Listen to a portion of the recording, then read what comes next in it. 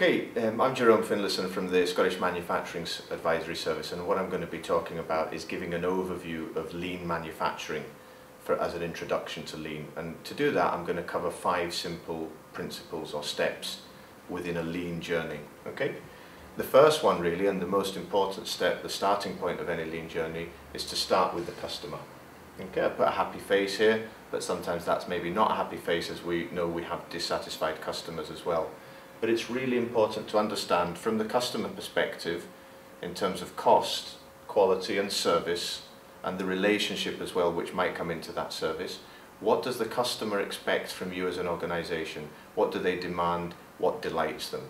But really understand it from the shoes and the eyes of the customer, not your perception. So it's very important to get into the customer's mind, mindset on this and understand what they need from you as a supplier. So start off with the customer that sets the direction for lean and the focus, the key strategic focuses. We then move on to the process. And what we need to look at it within the business is break it down into a series of processes that should be joined together to support an overall goal and an aim to meet these customer objectives.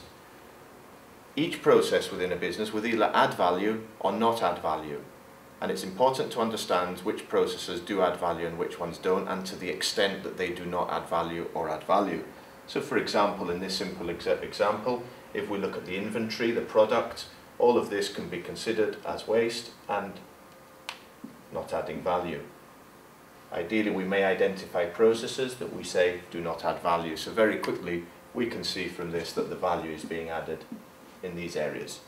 And we would then quantify that with real objective data to support the value and the non-value adding processes. Next step in Lean is to make those value, make that value flow within the organization. So if we move up here, we've got a simple, I've presented it very simply for the purposes of this, but looking at making that value throw, flow with product moving very simply through the supply chain, minimizing stops, breakdowns, etc., to ensure that product is continually flowing through the organization. The next sort of principle here is looking at the, the rate of that product flowing through the organization. And that rate should be determined back to the customer again and pulled from the customer. So not keeping a stock of inventory here or here or anywhere in the process. If the customer wants 10 a week, you design the process and gear it up and measure it to deliver 10 a week. Okay?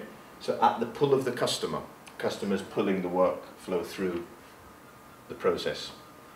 And the last but most important stage of any lean journey is to look at the, the process again and again and again and continuously improve. And don't don't be satisfied with what you've got just now and rest on your laurels potentially. But if you have this process can that be improved to this process? Reduce the lead time reduce the cost improve the quality maybe you're investing in new machinery but still maintain the flow maximize the value and at the pull of the customer Okay, so really in a nutshell, that's five key principles which define lean and lean manufacturing. Obviously there's a lot more, a lot more to it in terms of getting that working in the workplace and sustaining lean, but in summary, it starts with the, what the customer values, it's look at identifying the value in the processes in the organization, it's making that value flow, it's making that flow at the pull of the customer, to the demand of the customer, and then it's continuously improving the processes by reviewing what you're doing. Okay, thank you very much.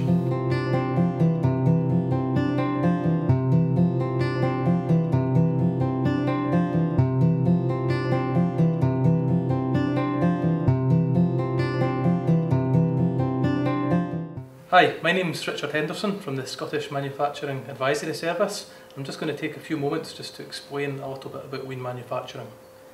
So what is lean manufacturing? Why do a lot of companies use it? Well, lean manufacturing um, is all about trying to address a lot of your customers' needs. Customers may require greater variety in the products and services which you're offering. They may require greater flexibility.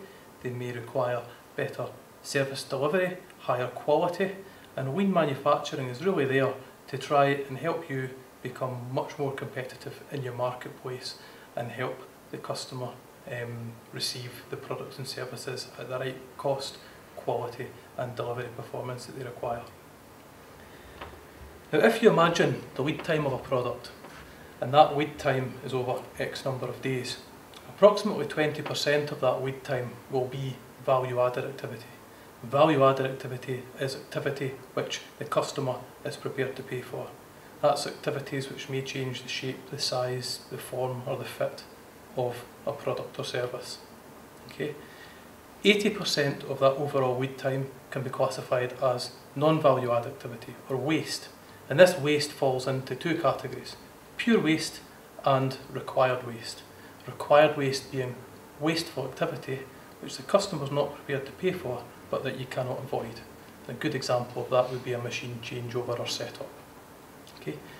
Traditional improvement activities will focus on the value added activity and trying to make improvements to the value added activity by throwing more labour at the process, maybe buying a new machine, getting the labour force to work harder or longer hours. Okay? And yes, you might get a small improvement, but it's not sustainable.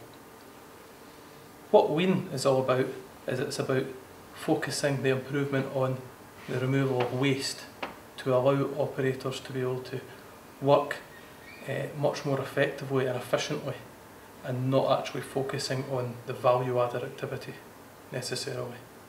Okay. So to implement Lean you need to follow five guiding principles. The first one is all about identifying value.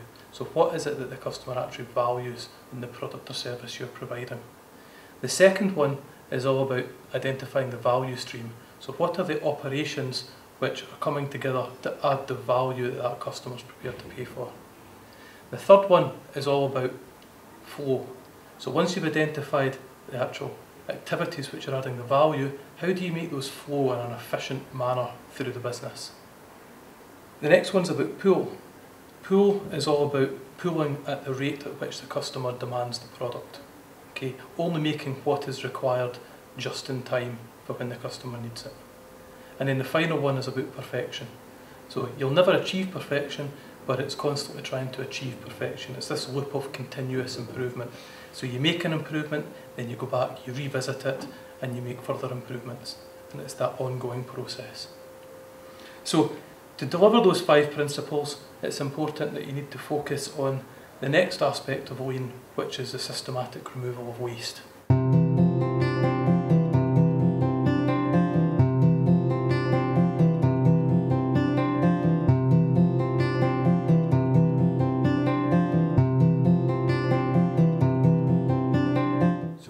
About the lean wastes. I want to get you to think about what those lean wastes are in your organisation. Now I remember them using the acronym Tim Woods the first letter there uh, standing for the first letter of each of the wastes. So I'll go through them one by one. So T, that stands for transportation. That's moving of objects or, or, or uh, products between different processes. Now this is most apparent on sites where you've got uh, different sheds and products are being moved and transported from one shed to the next. That's where it's most apparent. But even on smaller operations contained within one building, you'll still see transportation where people are moving things between one process and the next. Think about it, is that happening in your operations? Secondly, I for inventory. Inventory is where product is building up within the process that's not been moved through that process. What's the risk of that to you and your business? It's tying up cash. So again, think about your operation and have you got piles of inventory dotted around through the process? And if so, is there scope for reducing that inventory? M. M stands for movement. Now that might be movement of people or movement of machinery. But movement in itself, think of double handling, where people are simply moving things from one place to another and then having to move it back again. Movement is taking up people's time and it is not changing that product or converting it any closer to what the customer is looking for. Have you got people moving around objects within your operation and products through the operation? W. W stands for waiting. Now waiting can be people waiting for work or indeed work waiting for people to come and do something to it. You'll see that if you've got inventory building up. That inventory will be waiting for somebody to come and do something to it. I bet you're pretty hot on spotting where people are waiting for work. People standing around sitting and chatting. Think about your operation. Go down and have a look at the shop floor and see if you can see waiting occurring.